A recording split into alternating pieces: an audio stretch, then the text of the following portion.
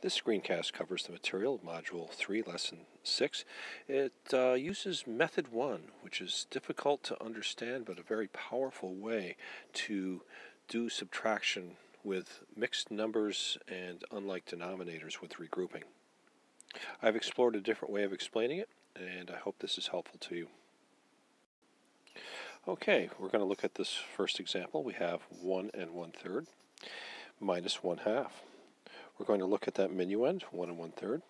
We're going to leave the left rectangle whole to represent the 1, and then I'm going to represent 1 third by partitioning the second rectangle into three equal parts.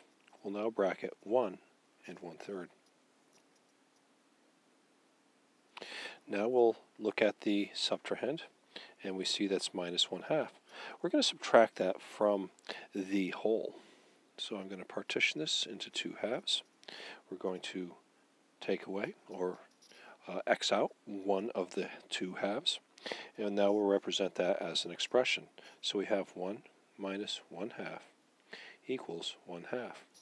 Now let's look at what we have left after we've taken out that 1 half. We have 1 half and we have 1 third. So let's write the expression 1 half plus 1 third to represent what remains of our area model. Now we have an unlike denominator for both of these and we want to find the common unit. Some of us know how to do that without uh, drawing or uh, working with a model, and some of us don't. So let's, uh, let's now partition this to make equal units and we can see now that we have sixths. If we look at our model, we can see that we have 1 half is equal to 3 sixths, plus 1 third is equal to 2 sixths, and the sum of those two fractions is 5 sixths. So the difference between 1 third and 1 half is 5 sixths. Let's do another example. All right, we have 1 and 1 third, or excuse me, 1 and 1 fourth, minus 1 third. Again, we'll leave the whole intact.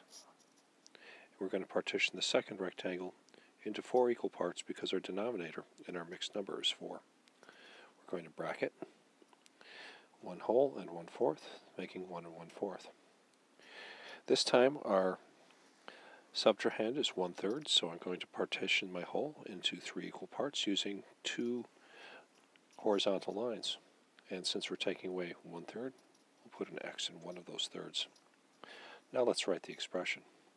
We had 1 minus 1 third equals 2 thirds. Let's look at the model. We see that we have 2 thirds left and we have 1 fourth. So if we combined the thirds, the 2 thirds, and the 1 fourth, we'll have our difference. So we will now write the expression 2 thirds plus 1 fourth Again, we don't have common units, so we'll partition both of these rectangles to give us common units.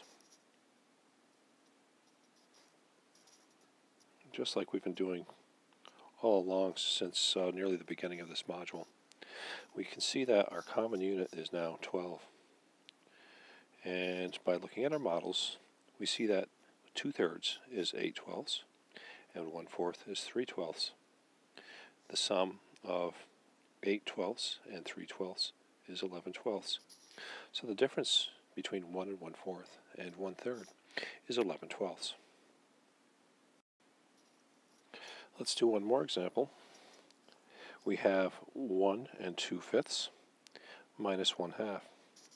We'll now partition the second rectangle into fifths.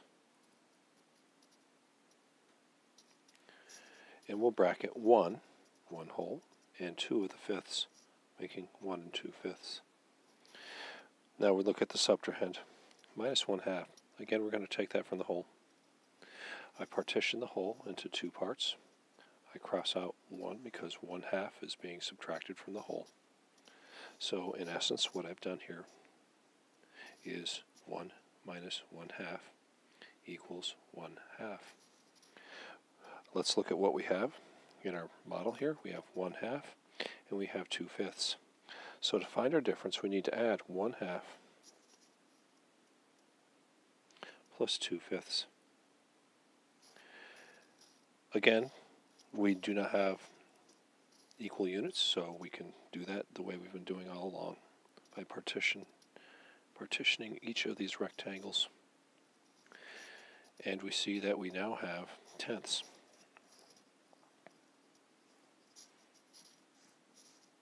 So 1 half equals 5 tenths.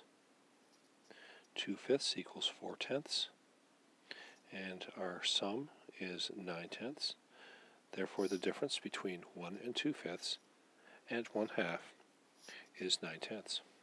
We're going to do one more example using a fraction where the numerator is greater than the denominator. We have 9 sevenths. Really, that's no different. Let's take a look at uh, 9 sevenths and we'll decompose that. So I have 9 sevenths. I can decompose that into 7 sevenths using a number bond. And we know that 7 sevenths is equal to 1 plus 2 sevenths. So let's go to our model now. I have 1 whole and 2 sevenths. So I need to partition my second rectangle into 7 equal parts.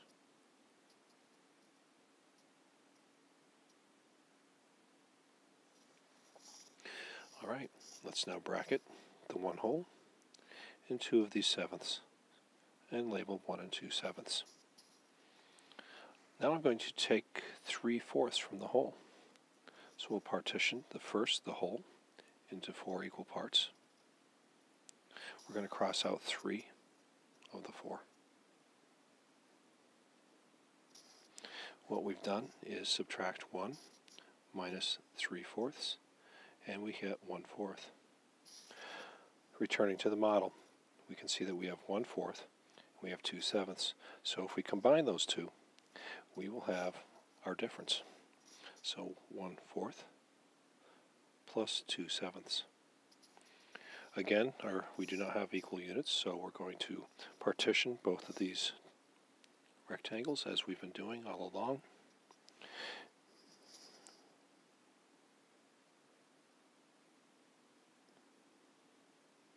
And if we look, we see that we have 28 units.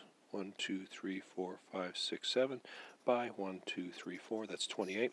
You might also note that if we multiply those two denominators, and many of you notice that, we get a common denominator. So now, 1 fourth becomes 7 28ths, and 2 sevenths becomes 8 28ths. We find the sum, and we get 15 28ths. So the difference of 9 sevenths minus 3 fourths is 15 28ths.